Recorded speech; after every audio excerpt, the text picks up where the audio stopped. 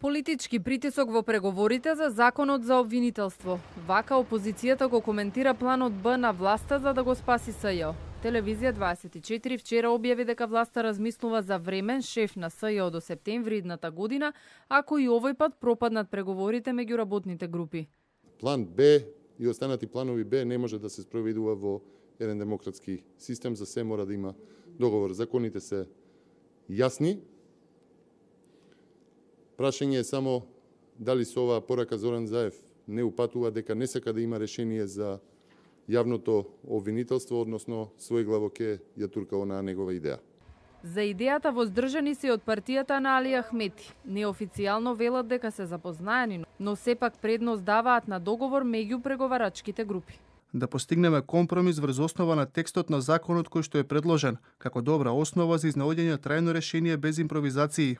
Иако премиерот Зоран Заев замина на годишен одмор, неговиот пиар не одмора, па на Фейсбук се појави видео обраќање во кое Заев ја повикува опозицијата да ги поддржи реформите, а на јавното обвинителство му порачува да истражува.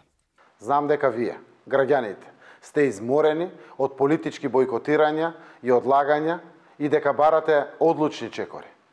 Затоа јас ќе продолжам уште порешително да ја повикувам и убедувам опозицијата да ги подржи реформите.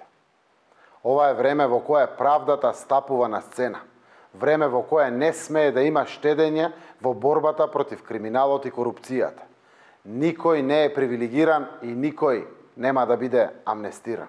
Времен шеф да застане на чело на СЈО до септември следната година кога завршува мандатот на обвинителството доколку владата не успее дотогаш да обезбеди 80 гласа за законот за јавно обвинителство.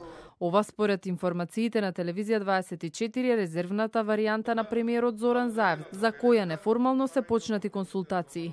Овој план неофицијално Заев го представил и пред меѓународниот фактор. Според висок владин функционер, времен шеф на СЈО би бил некој од актуелните обвинители, а би бил назначен од Советот на јавни обвинители.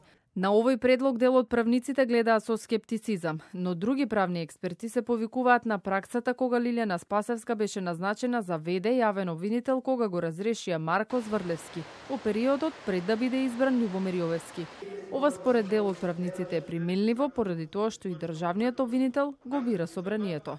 Додека власта и опозицијата ги кршат копијата околу наследникот на Катица Јанева, а јавноста ја бранува аферата Рекет, таа замина на годишен одмор. Може?